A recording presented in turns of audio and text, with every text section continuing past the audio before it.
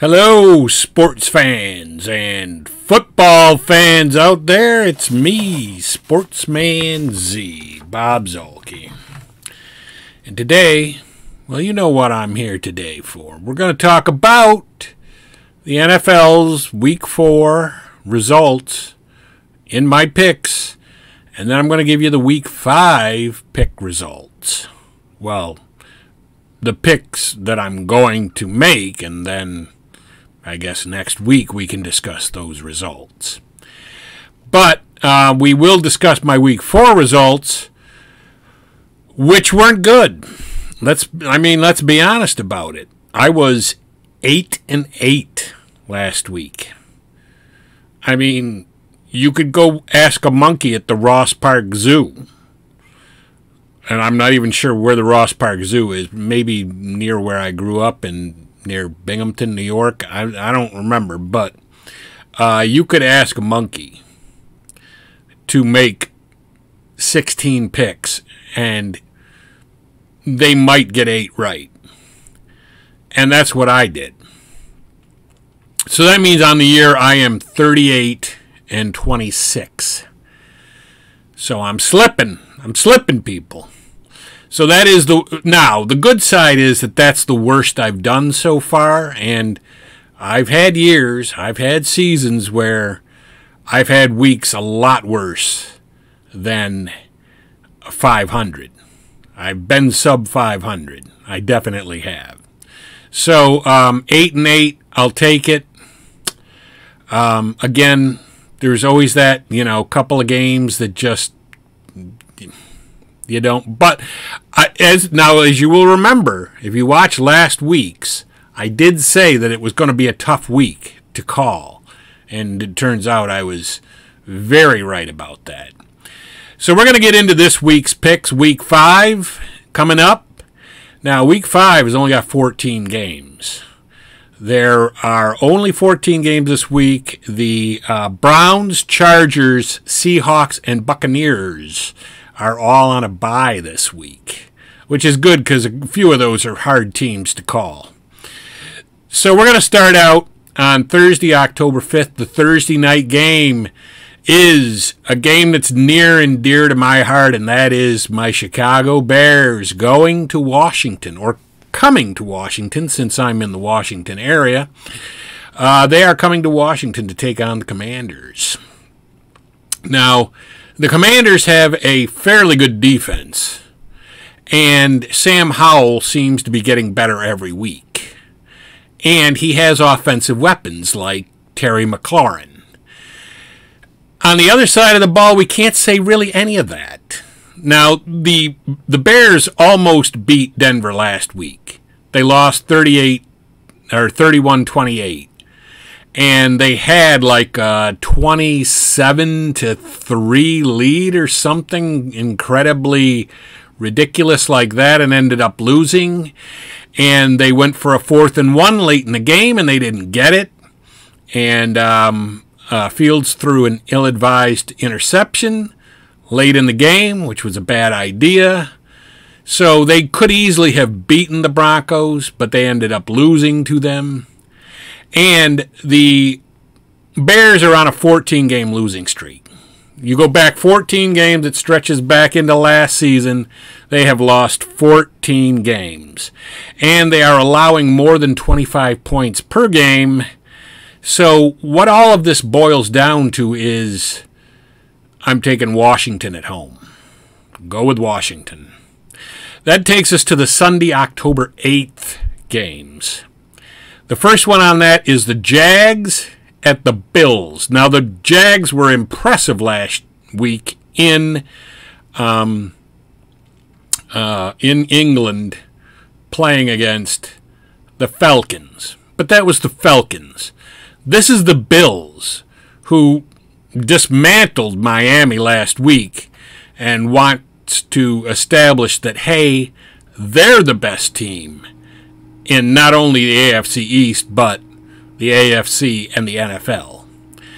Um, so, yeah, I'm going to go with the Bills here. The Bills are at home, they're on a roll. I think that their loss to the Jets was a wake up call for them. take the Bills. Next one you got is the Saints at the Patriots. The Patriots looked horrible last week. Absolutely gotten their asses handed to them. And uh, the Saints, you know, the Saints are the Saints, but they have a very good defense, at least. You can say that about them. I think Carr is expected to be back. He did, he actually, he did play last week. I wasn't sure if he would. But he's got another week to heal, to have healed a little more from his whatever injured hand, whatever happened there. So we're going to say that uh, we're going to take the Saints on the road to beat the Patriots in New England.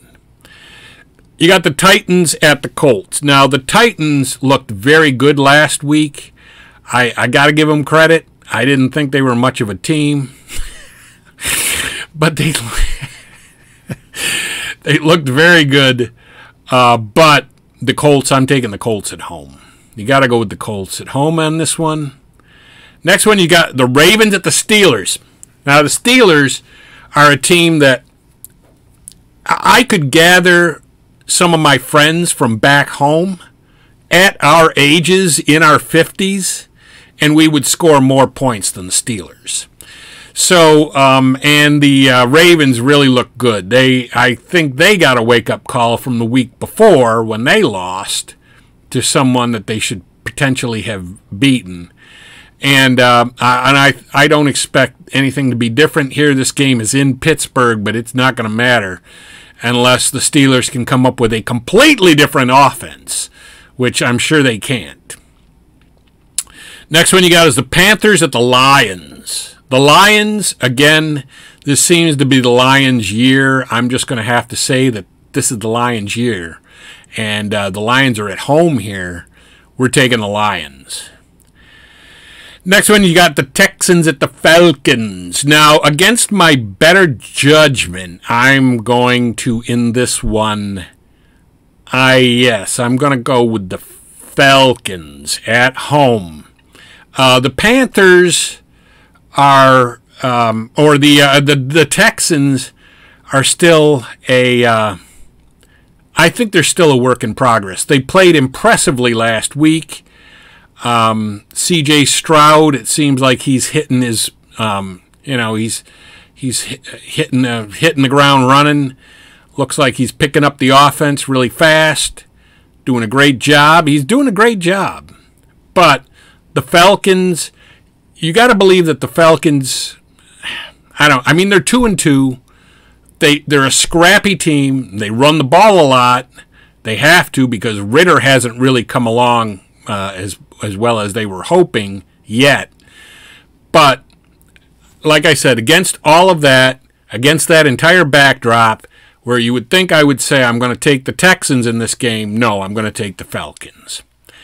Next one we move along to is the Giants at the Dolphins. Now, if you saw the Monday night game where the Giants uh, played the Seahawks, it was laughable.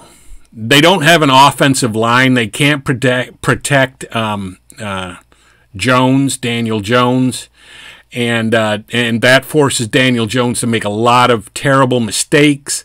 He got sacked 11 times by the Seahawks. That was one short of the all-time NFL record for a single game. So um, and the um, and then uh, and then of course on the other side, this game is in Miami and it's the Dolphins that they're playing. I mean, you know, again, again, I explained all of the downfalls that you've got with the Giants, where I didn't really need to because they're playing the Dolphins, who are just great. I mean, they're great. All right, they didn't beat the Bills, but they're great. So I'm going to take the Dolphins at home. Uh, the next one you got is the Bengals at the Cardinals. You know, um, the Bengals, eh, eh, they're having a terrible year. They're just having a terrible year Burrow is all kinds of injured. He might have an injured elbow and an injured leg. He's not 100%. He's certainly not 100%. And he's not the Joe Burrow that we're used to. And the Bengals defense isn't really playing that great either. But you know who is playing better than everybody expected, I think, to this point? The Cardinals. So this is going to shock some people um, especially a particular Cardinals fan out there that I know, but I'm taking the Cardinals at home to beat the Bengals. I think that's going to happen. Next one you got is the Eagles going up against the Rams. Now, the Eagles are undefeated, but it's like a smoke and mirrors thing because they're barely beating teams and they're not looking very dominant at all. Their offense doesn't look as good as it should look. Their defense doesn't look as good as it should look. And the Rams are an exciting team. Everybody expected they would be the second worst team in football, but that's turning out not to be true. Um, in fact, we thought the Cardinals would be the worst team in football. It turns out it's really the Bears. But um, the Rams are exciting. They got that new young receiver. I forget his name. It's a crazy name. Uh, but Cooper Kupp, I think, is coming back or is back. Um, you know, and this game is in LA. I'm taking the Rams. We're going to go with the Rams over the Eagles in a surprising one. It's maybe a an upset special, or maybe it's not. I don't even know because I don't know what the line is on that game. Next one you got is the Jets at the Broncos. The Broncos beat the Bears last week, and they did it with an impressive comeback. And um, they seem to be playing a little better now, um, and they're at home. But you know what? I'm going with the Jets. I think that the resurgence, and it looked like from the Sunday night game, I think it was Sunday night the Jets played, uh, that there is a resurgence going on with Zach Wilson. Looks like he's getting a little better. It looks like the light bulb went on, maybe. And if the light bulb went on, you know he's got the arm strength. Everybody says he has the arm strength, and um, he uh, and, and I think I think he's figured it out. I think he's figured out he's got to get the ball out quickly. Um, he was able to throw downfield. Um, he still makes mistakes, but he's still young and a little bit inexperienced um, because the Jets have benched him from time to time. But even though this game is in Denver and the Jets are on the road, I'm going to go with the Jets. Next one you got is the Chiefs at the Vikings. This was a uh, wasn't this a Super Bowl? This was like Super Bowl four, maybe. I want to say it was Super Bowl four, um, maybe three. I don't know. Um, but anyway, you got the Chiefs at the Vikings. Vikings are home in this one. And again, I'm going to make a surprising pick here. I'm going to say the Vikings will win this game because the Chiefs just kind of like the Eagles. The Chiefs are doing really well, but when you watch them, you don't know how they're doing really well because it's unbelievable. I mean, they almost lost to the Jets. So, you know, and they they tend to play down to their competition. Against the Jets, they got out to a 17 to nothing lead, and they ended up winning the game something like 23 to 20.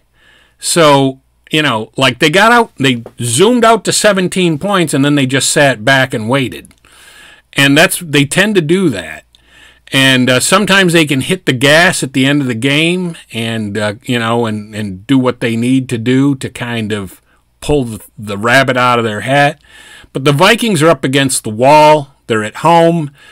Kirk Cousins can still throw for a ton of yards. I'm taking the vikings. Uh, the next one you got is the cowboys at the 49ers. I'm going to surprise some people here and I'm going to go with the Cowboys on the road to beat the 49ers who are home. The 49ers are good. Now the now the 49ers, unlike the Eagles, um, they are not a smoke and mirrors team. They're they're good. They're legit. But I think the Cowboys this year, I think the Cowboys are something special better than they have been in the past. Now, if you go down the uh, record, the 49ers are undefeated. They're 4 0, but their, av- their average points for is 31. Their average points against is 15. Now Dallas has lost a game and they lost to the Cardinals, and that was that, that was really a hiccup, a, a bump in the road. And every team is going to lose at least a game. Uh, but yeah, they shouldn't have lost to the Cardinals. But even though they have a loss, their average points for is 34, and their average points against is 7. Seven points. They average allowing seven points per game, one touchdown. So the defense is there. The defense is definitely legit. And I think Dak is a is a good quarterback. I think they've got with McCarthy calling the plays this year. I think that they're a lot better. They're a lot more. Um, they're a lot more balanced, and they have a they have a better attack. And even though this game is in San Francisco, I got to go with Dallas. I just got to. That brings us to the uh, Monday, October 9th game, and that's going to be the Packers at the Raiders. The Raiders, again, I think they're a wishy washy team. They're at home. The Packers, we don't really, again, we still don't really know what we've got with the Packers. But overall, I am going to, in this game, I'm going to go with the Packers on the road to beat Las Vegas. So uh, that's what I've got for everyone. What do you guys think? Leave a comment below. Let me know what games you disagree with me on. Probably going to be a ton of them because I picked a few that could be classified as upsets. But that's just how I feel about it. And that is going to be it for me. Sportsman Z, Bob Zuhlke, signing off.